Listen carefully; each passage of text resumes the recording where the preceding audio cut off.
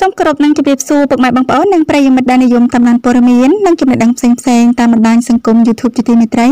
ខណៈពេលនេះផងដែរនឹងខ្ញុំសូមលើកយកនៅអត្ថបទព័ត៌មានថ្មីមួយទៀតហើយមកជម្រាបជូនពុកម៉ែបងប្អូននិងប្រិយមិត្តបានស្ដាប់និងទស្សនាកំសាន្តផងដែរតាមរយៈអត្ថបទថ្មីនេះគឺមានចំណងជើងថារូបសម្បត្តិស្អាតច្រៀងពិរោះនិងចិត្តល្អទៀតតារាចម្រៀងសុកពិសីបានឧបត្ថម្ភដល់រដ្ឋាភិបាលដើម្បីទប់ស្កាត់ COVID-19 នៅថវិកាចំនួន1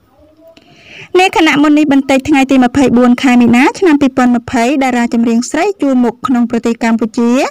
នោះគឺកញ្ញាសុកពិសីបានឧបត្ថម្ភថវិកាចំនួន2000ដុល្លារជូនទៅដល់រាជរដ្ឋាភិបាលកម្ពុជា សម្រាប់សកម្មភាពបង្ការនិងទប់ស្កាត់ការរីករាលត្បាតនៃជំងឺ Covid ដែលកំពុងតែបង្កក្តីព្រួយបារម្ភនិងជីវិតរបស់ប្រជាជនកម្ពុជា នៅក្នុងនោះដែរយោងតាមរយៈគេហទំព័រ Facebook ផេកលោកហេងឡុងបានសរសេរប្រាប់ឲ្យដឹងថារូបសម្បត្តិស្អាតច្រៀងពីរោះចិត្តមនុស្សសធរស្រឡាញ់ចាគាត់ចាស្រឡាញ់